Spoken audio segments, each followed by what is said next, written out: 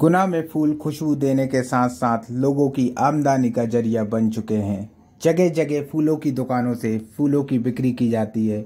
मालाएँ बनाकर आसपास के क्षेत्र में भेजी जाती है। अब ये व्यापार खासा मुनाफा देने लगा है।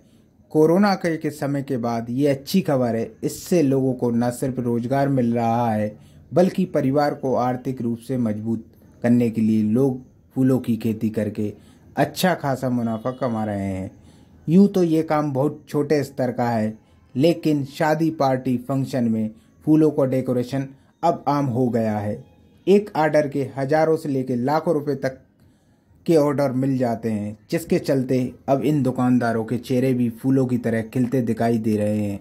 लोगों को लगता है इस काम को करने में उन्हें बहुत खुशी महसूस होती है। फूलों की महक चारों तरफ़ घुली रहती है, जिससे मन में अच्छे विचार फूलों की खुशबू से आसपास का वातावरण शुद्ध होता जाता है। फूलों की महक से जीवन भी तरोताजगी बनी रहती है।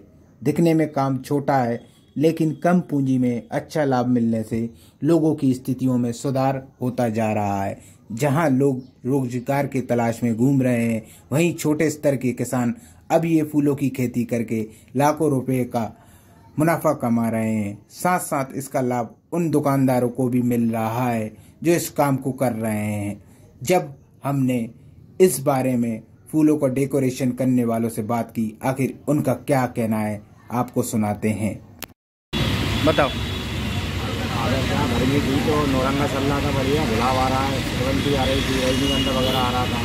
अब का शादियों का सीज़न खत्म हो गया ना तो अब ये नौरंगा वगैरह चल रहा है ये बारिश में गल जाएगा। अब ये गेंदा आएगा। गेंदा चालू हो गया बेली चालू होने लगी है रजनीगंधा बढ़िया आ रहा है लिली चालू हो जाएगी। देख चले गर्मियों में गुलाब अभी बरसात में गुलाब आएगा। गुलाब ज़्यादा मात्रा में अभी आएगा बरसात आ गई ना तो गुलाब ज़्यादा आएगा। और रजनीगंधा आएगा गेंदा चालू हो जाएगा। जैसे अपनी बारिश खत्म होती है अगर सेवन भी चालू हो जाएगी बेली चालू हो जाएगी। सब फूल अलग अलग चालू हो जाएँगे। बारिश में तो क्या भी दो चार फूल ही जाएँगे रजनीगंधा मिल जाएगा गुलाब मिल जाएगा गेंदा मिल जाएगा। लगभग कितनी आमदनी हो जाती है? आमदनी तो भैया क्या सीज़न के ऊपर रहता है। अभी शादियों का माहौल था अपन एक दिन में दस साइड कर रहे हैं। अब वो साइड कोई जो पाँच हज़ार की है कोई दस की है कोई बीस हज़ार की है कोई पचास हज़ार की है।